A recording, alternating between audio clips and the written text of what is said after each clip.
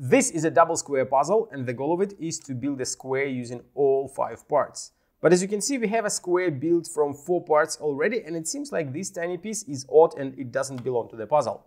Even after trying to rearrange the parts and building a square, you will find that you can build whatever but the square.